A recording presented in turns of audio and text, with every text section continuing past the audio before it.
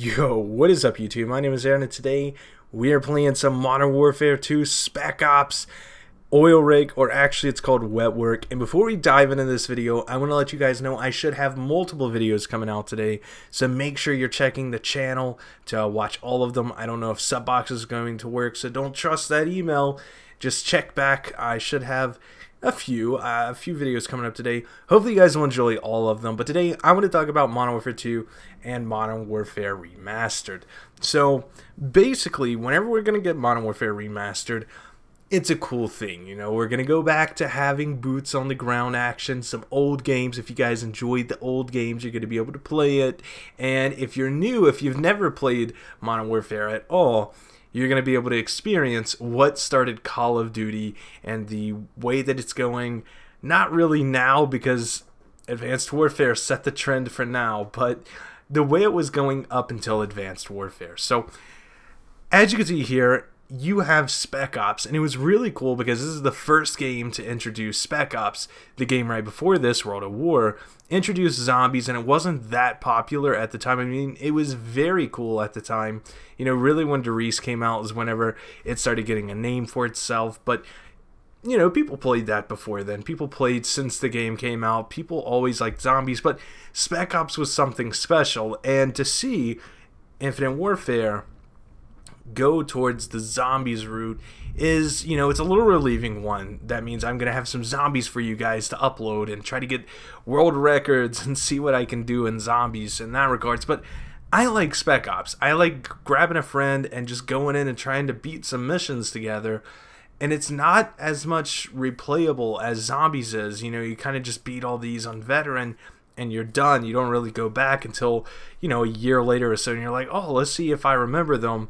And like it's really good for the first 10 minutes and you're like, "Yeah, I've I've beat this before." But yeah, Zombies does hold that replayable value, and I just wish they would do something with Spec Ops or Survival also. I mean, I know I'm asking a lot from a game, but they've had three years to develop it, and I think that they can do something pretty cool. You know, Black Ops came at us with a lot to offer, so they said, and it's kind of felt like a normal Call of Duty. I know there is the parkour game mode, but really, like, they could have probably built that in a day. You know, once you got your movement, all they got to do is just throw some throw some blocks, float them up in the air, and just tell you to run on them.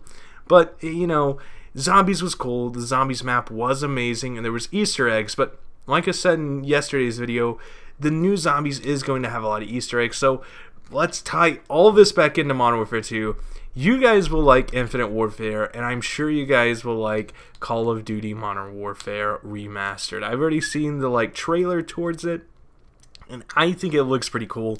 I'm really eh, ready to see what 10 maps they bring back to the remaster version because they did say fan favorite, and I don't really trust Call of Duty with fan favorite. I mean, look at the map that they added on this DLC pack we just got. It was like uh, DLC 2. It's some World at War remake, and it was like fan favorite World at War map. No, Dome is the fan favorite World at War map. You know, there's tons of other World at War fan favorites, so I don't really trust what they think is fan favorite. I think it's more of like the ones that they took a lot of time to make, and they're like, yeah, fans will really like it, and they bring it back. So.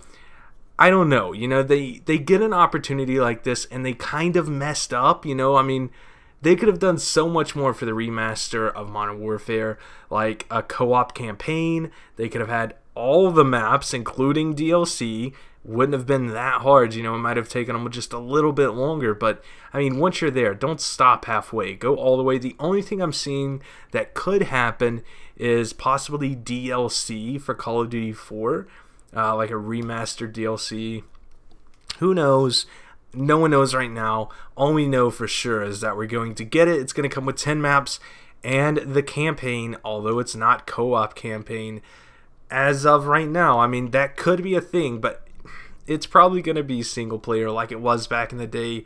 Uh, that's pretty much all we know right now. So hopefully you guys enjoyed this video. Hopefully you guys enjoyed seeing some throwback to Modern Warfare 2. Tell me if you like this. Tell me if you like that little Spec Ops. Tell me what you guys think down below. If you're new, subscribe. Peace.